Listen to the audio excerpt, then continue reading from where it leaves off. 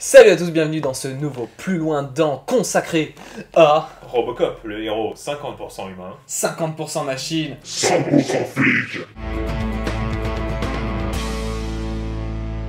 La première particularité de, de Robocop, c'est que c'est pas un personnage qui est devenu un film à partir d'un comics, mais c'est l'inverse en fait. C'est d'abord été un personnage de film, et ensuite ils en ont tiré des comics. Oui, en 81, Edward Neumeyer euh, écrit un script très inspiré de Blade Runner et euh, Judge Dredd. Ça se passe dans une cité euh, futuriste euh, avec un flic robot. Au début, le projet d'Edward Neumeyer a été jeté par à peu près tout le monde. On lui a dit Robocop c'est de la merde, c'est pas vendeur. En 84, il a rencontré un mec qui s'appelle Michael Miner, un réalisateur de clips qui portait un projet à peu près similaire, un projet qui s'appelait Supercop. Supercop racontait l'histoire d'un flic qui s'était fait blesser et dont on avait proposé une, une espèce d'opération pour le transformer en super flic. Les deux scénarios ont fusionné et ça a donné le film Robocop de Paul Verhoeven, son premier gros succès aux États-Unis. Pour l'anecdote, ce qu'il faut savoir, c'est qu'à la première lecture du, du script, Paul Verhoeven a trouvé ça dégueulasse. Enfin, toute la violence qu'il y avait dans, dans cette histoire, il en a pas voulu, il a foutu la poubelle. Et c'est sa femme en fait qui l'a récupéré et qui lui a fait bon écoute Polo, euh, relis quand même parce que c'est quand même un petit peu plus profond que ça en a l'air. Et bam, Blockbuster Le personnage de Robocop a été en partie inspiré de Judge Dredd, mais également, surtout pour son design et son esthétique, on trouve d'autres sources. On va notamment puiser chez Rodman puisque lors du premier script qui a été fait, il cherchait plus ou moins à lui faire une espèce d'armure, une boîte de conserve entre guillemets. hein. Une autre source d'inspiration aussi, toujours chez Marvel, c'était Rome the Space Knight, un comics euh, mettant en scène un, un mec de l'espace qui se fait transformer volontairement en cyborg pour sauver la veuve et l'orphelin. Petit clin d'œil, dans le film, la scène du braquage de l'épicerie, euh, le malfrat chope un comics Iron Man, pendant que sur l'étal, on voit plein d'autres comics Rome. Et lors de la production du film, euh, le créateur d'effets spéciaux Rob Bottin s'est inspiré surtout de deux sources, toutes les deux japonaises, le manga papier The Eight Man, avec un personnage euh, robotique, mais surtout le tout premier Metal Hero de la Toei, Space Sheriff Gavan, que nous en France on a connu sous le nom de Xor, le shérif de l'espace, un personnage entièrement métallique avec une armure chromée qui est tellement Badass Étant donné que Robocop c'est un film à la base, aucun éditeur de comics n'a euh, de droit exclusif sur la franchise. Le premier comics de Robocop sortira en octobre 1987 chez Marvel. Ce sera une simple adaptation du film en comics, mais c'est ce qui va lancer l'ère Robocop chez Marvel.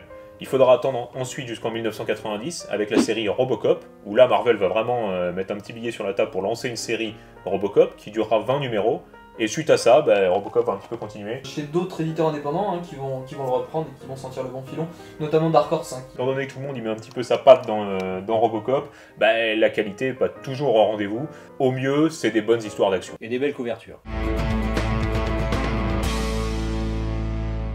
Robocop a pas vraiment des pouvoirs parce que c'est vraiment une machine, c'est plutôt de la technologie, donc il a déjà un super gros flingue. Il a aussi un bras détachable sur lequel on peut fixer une mitrailleuse, une super bagnole euh, reliée à son cerveau et une sorte de pic, un port USB du futur qui lui permet de se brancher sur les ordinateurs et éventuellement de planter 2-3 gars de temps en temps. Comme on a pu voir dans le super film Robocop 3 aussi, il peut se fixer un jetpack dans le dos pour pouvoir voler et ça c'est trop classe. Donc parmi les thèmes principaux abordés dans Robocop, euh, on peut parler de la décrépitude urbaine et de la réurbanisation sauvage. L'histoire se passe à Détroit, mais en fait ça pourrait être n'importe quelle ville. C'est une cité complètement en crise, euh, crise du logement, crise du chômage, criminalité galopante, abandon des complexes industriels.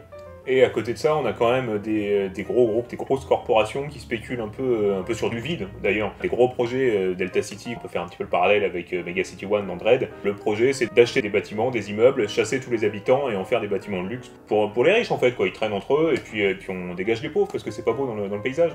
Ça sent le prout, non?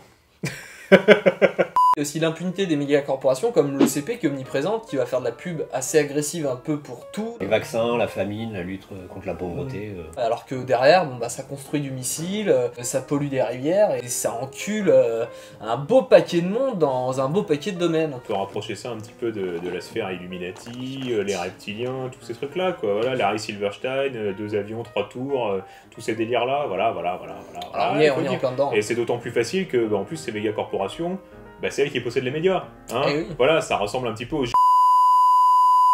Une des autres thématiques qui est abordée dans, dans Robocop, bah, c'est évidemment le transhumanisme. À partir de quel pourcentage de greffe de trucs humains sur un robot on considère qu'il est humain? Dans la société actuelle, le débat, bah, c'est l'inverse. hein. À partir de quel moment euh, un humain euh, qu'on a modifié, on rajoute des pièces, on rajoute un poumon, un cœur, un œil, bah, ça reste un humain et plus un robot? Enfin, c'est un vrai débat actuel. hein. Je pense que là, ça n'a jamais été aussi actuel que maintenant d'ailleurs. Il y a aussi une, euh, un gros travail sur le libre arbitre parce que Alex Murphy a un- carrément un ordinateur dans le cerveau.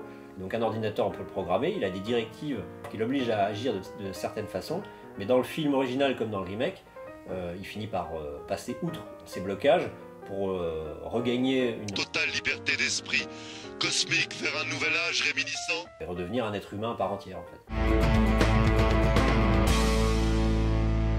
Premier conseil de lecture, bah, c'est euh, la mini-série en 9 numéros de Frank Miller, parce que oui, Frank Miller a travaillé sur Robocop, et pas qu'un peu. À la base, c'est lui qui devait écrire le script de Robocop 2, sauf qu'au final, bah, ils ont rien gardé de son film. Miller, ça lui a pas plu du tout, il a même demandé à ce que son nom soit rayé du générique. Cette mini-série, c'est globalement la vision de Frank Miller, euh, l'histoire qu'il avait prévue euh, à la base pour Robocop 2. Même si j'aime beaucoup le deuxième film, le côté est beaucoup plus sombre, la version de Frank Miller est quand même un poil plus extrême.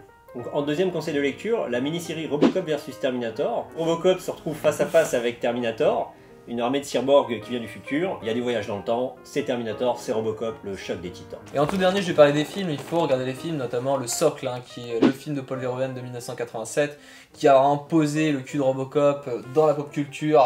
Il l'a bien ancré comme ça, l'âme. Il y a eu un remake en 2014. euh, il faut aussi le voir, hein, même s'il a été mal perçu par les fans. Ce film a, a pris des thématiques de, de, de l'original, mais on a pris aussi plein de différentes. Maintenant, il va falloir voter pour le prochain personnage de plus loin dans. Je vais vous proposer un personnage en rapport, évidemment, avec Robocop. Je vais vous proposer un personnage méga badass. Je parle bien sûr de Balthazar Picsou. Moi, niveau badassitude, c'est vrai qu'il est plutôt dans la finesse. Il est, il est, il fait plutôt, on va dire, dans la dentelle. C'est bien évidemment le très fin Wilson Fisk. Bah moi, on va rester dans la thématique animalière, ça va être Crypto, le super chien, le chien de Superman. À vous de jouer, on se retrouve dans les commentaires, vous votez, et, euh, et puis voilà. Ouais, vous votez, ouais, c'est pas mal, ouais. Enfin, vous voyez, euh, clavier. Euh, ou alors sur votre téléphone, vous savez vous en servir. Si vous savez pas vous en servir, allez vous faire enculer. Voilà, bisous, à la prochaine et à bientôt dans un nouveau plus loin dans. C'est tout. Bon, maintenant, alors, vous signez, vous adhérez à la secte ou vous vous cassez, parce que moi, j'ai du pain spiritique sur la plage. Eh bien, merci, grand gourou. Putain, il se décolle, là, ou quoi là?